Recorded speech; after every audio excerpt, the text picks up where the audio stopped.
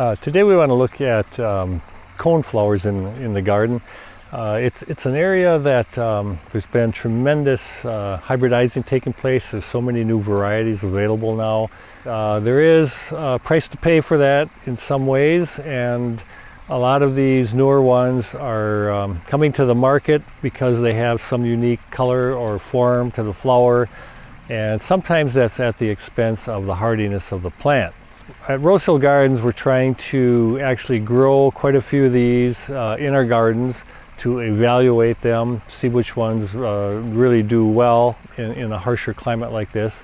Uh, some general things that we've learned is that the earlier that these plants are put into the garden during the growing season, say in, in May or June, uh, does make a big difference as far as their survivability over the winter. Also grow them in uh, very, very good soil. Uh, we've tested some in uh, really rich soil. Those plants have absolutely thrived and, and done well. Uh, the one in front of us here is called Supreme Flamingo and uh, just kind of an interesting color. Uh, kind of a semi-double flower where the cone is actually very colorful in itself. the rays are what we call drooping, pulling downward. One thing we noticed with some of the uh, new cultivars is that they can be a little bit tall and when the flower is real full and it rains, there's a lot of weight on the petals and some of them can actually uh, droop, flop to the ground. A couple other examples here. Uh, this particular one is called Butterfly Kisses. Uh, much smaller in nature, almost uh, a good plant for the border and not just the plant is uh, smaller and dwarf, the flowers are smaller also. And uh, it looks very, very attractive. Cone flowers tend to be fairly uh, long blooming, and uh, that is uh, a real plus for them uh, because these plants are still very interesting in the month of August, and that's when we're looking for some good color yet. So there's some real value there also. And another one here, the yellow cone flowers. They've been around uh, for a few years. This particular one is called Cleopatra. It's one that we're uh, quite happy with and, and that we can uh, recommend.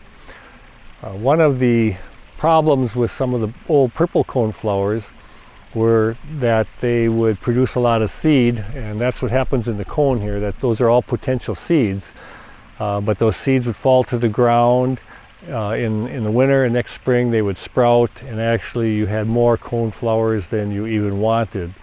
Uh, that seems to be less of a problem with the modern hybrids. Okay, we're going to look at a couple cultivars here from, uh, this is our actually our test garden uh, at Rose Hill uh, for some of the newer cultivars. A couple uh, really good performers are right here. this particular one is called After Midnight. Uh, although it resembles more the common purple, um, there are some unique things about it. Predominantly would be the uh, very, very dark stem. Uh, that actually adds a lot of interest to the plant prior to the bloom time. Um, if you're looking for something a lot brighter in the garden, uh, this is a very new cultivar. Uh, it's called Virgin.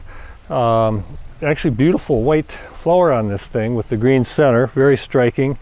Um, exceptional growth habit, sturdy, uh, very, very high bud count. And these were planted last, uh, probably last July. So they're not that old and yet you can see the exceptional growth on these. However, the soil here is, uh, is exceptional. All right, a couple other plants uh, in the test garden. Um, this one is doing well in a sense that uh, it's, it flowers very heavily.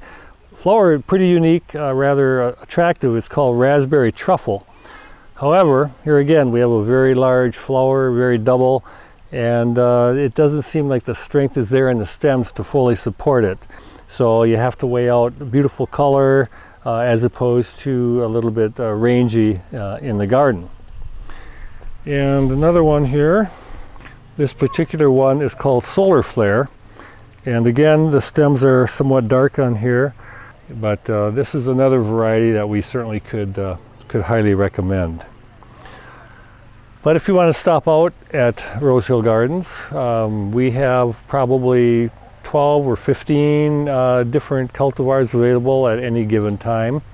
Uh, we'd be glad to show you through the trial gardens first of all. You can see how they grow, their habits, uh, what, what they can do at maturity, And uh, most of these are available then in, in pots at, at, a very reasonable cost. So we'd uh, like you to stop in and uh, we'll, we'll, take you through the, the garden and look at the various coneflowers. flowers.